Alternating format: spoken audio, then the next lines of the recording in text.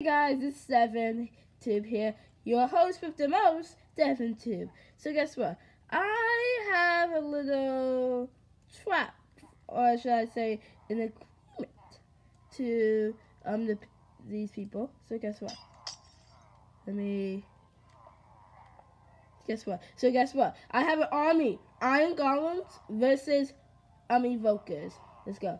Evokers, come to me! Iron Golems, come to me! Okay, okay, now I need to go.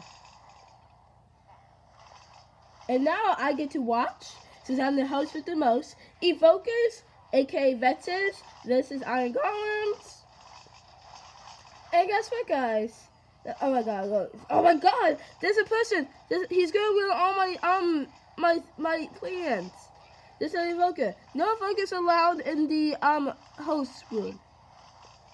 Okay, wait, let's see. Who's, who's gonna win? Who's gonna win? Evokers versus Iron Golems. Evokers versus Iron Golems. Who will win? Somebody needs to win. You know? I don't care who wins. Wait, it's not like Evokers win.